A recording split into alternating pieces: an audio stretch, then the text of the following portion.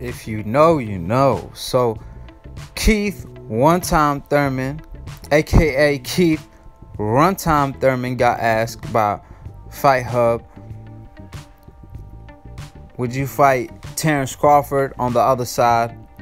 He responded by saying he was offered that fight, and obviously he ducked that fight. But I never seen a guy that's better at ducking questions than ducking punches in the ring. Keith Thurman responded to that question by saying he got offered a fight, but just like he said before, he not ready to fight a top level fighter this year. Uh, this was just a tune-up year, a get-back year, in fact, and he only fought a Manny Pacquiao because he's not really a champion. He holds a title under his title. He the super champion. Uh, Manny Pacquiao is the regular champion. So they getting that cleared up on their side. However, when it comes to Crawford and Errol Spence, that's in 220. He will consider them fights. But then obviously when it comes to Errol Spence, every time you bring him up, he get mad. And he just stated during the press conference with Pacquiao that that fight with Errol Spence ain't big enough yet.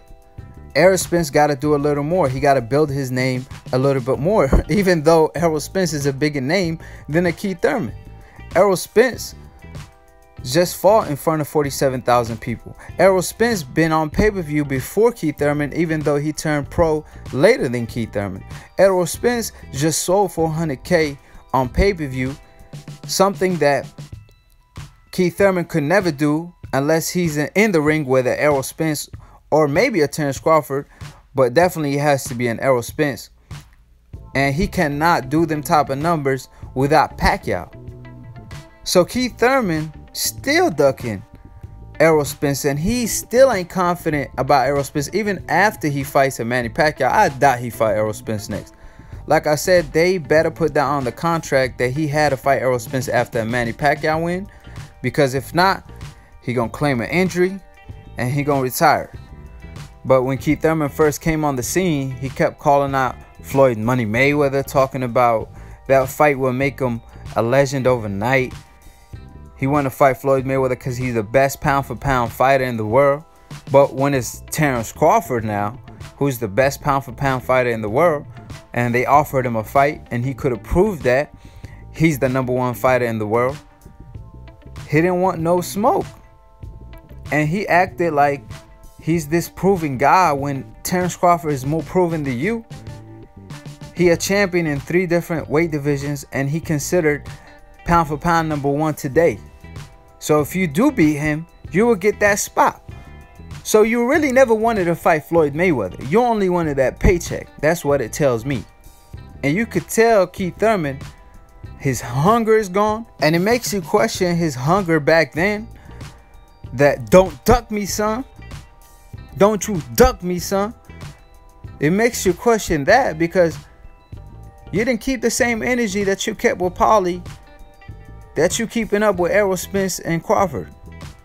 That you kept up with Danny Garcia. Danny Garcia, as soon as he moved up to the welterweight division, he said, I'll welcome that man. But when it's Crawford, oh, what he done? He ain't fought this guy, he ain't fought that. Let him fight Amir Khan. Then he fights Amir Khan and destroy Amir Khan. Then, oh, well, you know, he get all political. he turned to a business manager. Instead of be becoming a prideful fighter, now he's a prize fighter he praised himself for being a prize fighter. Now he's a prize fighter. And like I said before, he just doesn't keep the same energy with Errol Spence and Crawford. And them guys, them two in particular, they made him reassess everything that he got himself into.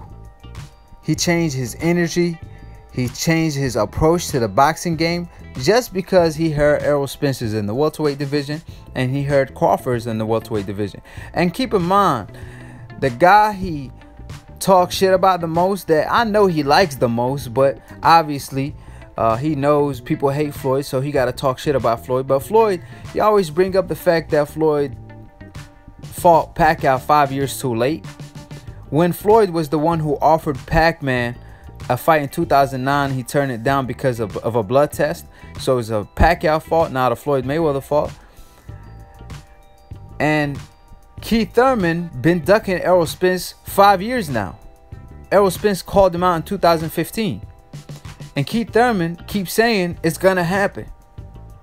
And they ain't never even negotiated once. Floyd Mayweather and Pacquiao negotiated like three times before they fought each other.